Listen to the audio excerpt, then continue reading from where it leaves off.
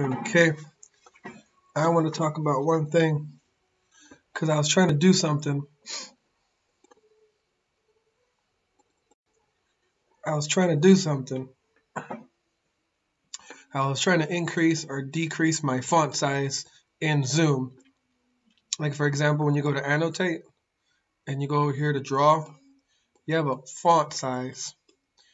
But the problem was I had accidentally pressed something to increase that font size.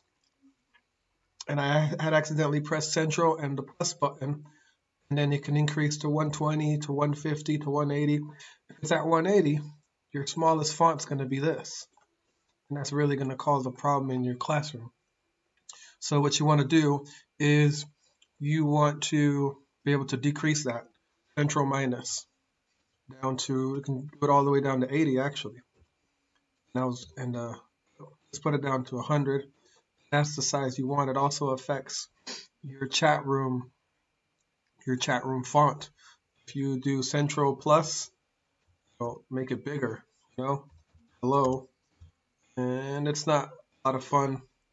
Not what works for me in the class. I like to have it at 100. Um, and then, you know, normal size. And also when I work with the annotate button, it needs to be this size I could underline text and stuff. I, I can't have it being this size or even any size bigger than this.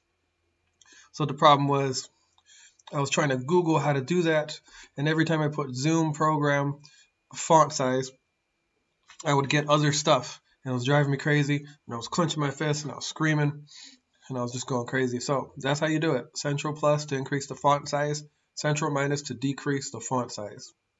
All right, that's all. Man, I was going crazy. Well, man, gotta go back here and I gotta go back to my meeting.